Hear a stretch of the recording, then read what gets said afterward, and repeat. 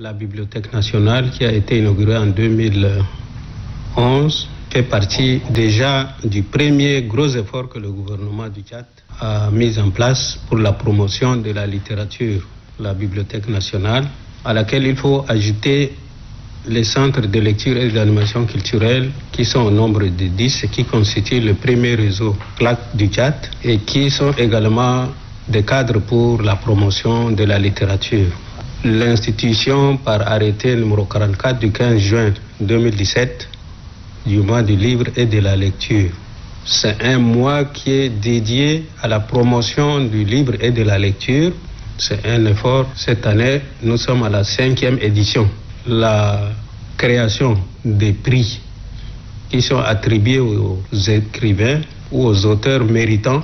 À la première édition en 2017, ainsi qu'à la deuxième, c'était le Grand Prix littéraire du Tchad qui a été attribué et remis aux récipiendaires.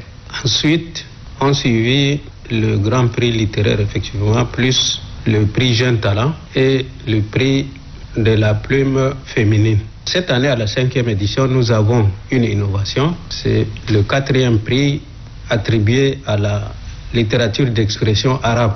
Nous avons estimé que la langue arabe, qui est la deuxième langue officielle du pays et à travers laquelle plusieurs de nos compatriotes s'expriment et écrivent, il fallait également l'intégrer dans le mois du livre et de la lecture.